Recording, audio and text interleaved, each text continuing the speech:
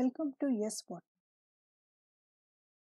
Today we are going to see the morphology of the angiosperm in that next unit that is the diversity of the plant form. In the last video we have seen the basic body plan of the flowering plant. Diversity of the plant forms. There are over 3 lakh angiosperm species growing on the earth which show enormous diversity in the size and forms. The diversity in the plant life can be studied from the following headings. Diversity on the basis of the habit and diversity on the basis of the lifespan. Today in this video we will see diversity on the basis of the habit. Diversity on the basis of the habit, it includes the shape, size and forms. Angiosperms are classified into four groups. These are herbs, shrubs, trees and the climbers. First group is the herbs. They are also called as the herbaceous plants. Herbs are the plants with weak stem. The stem is green, delicate and short. Their life cycle is short. The, these plants grow fast and produce flowers and many seeds in short period of time. Here, this is a mid plant it hardly attains height more than 1 meter and the stem is delicate which is green in color. The common examples of the herbs around us are wheat, mint, lily, most grasses, coriander and tulsi. Next group is the shrub. These plants are woody, branched and larger than the herbs, usually with the several stems but no main axis.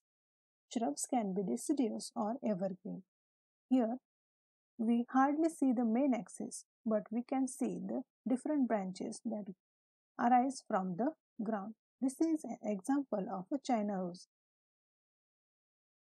Examples of the shrubs are rose, China rose, lemon, henna and croton.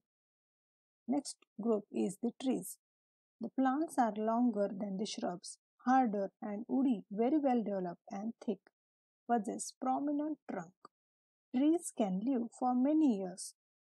Here, in this picture, we can see the prominent main trunk and the side branches. The tree can attain height more than 10 meters. Examples are mango, coconut, teak, banyan and neem oak.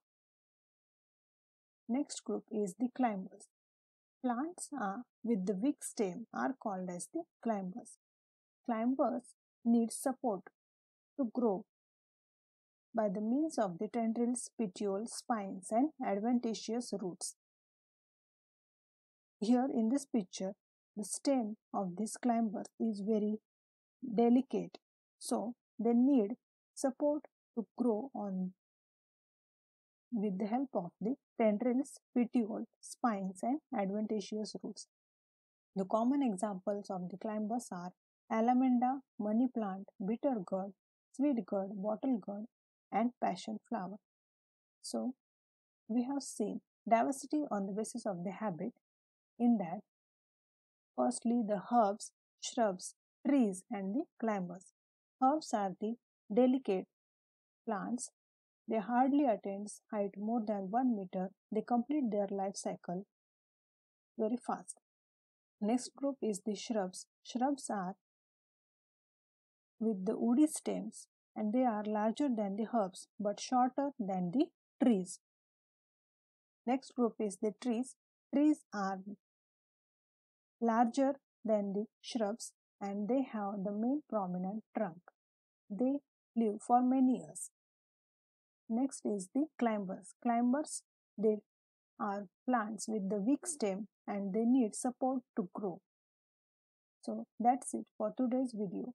In the next video, we will see diversity on the basis of the lifespan. Thank you.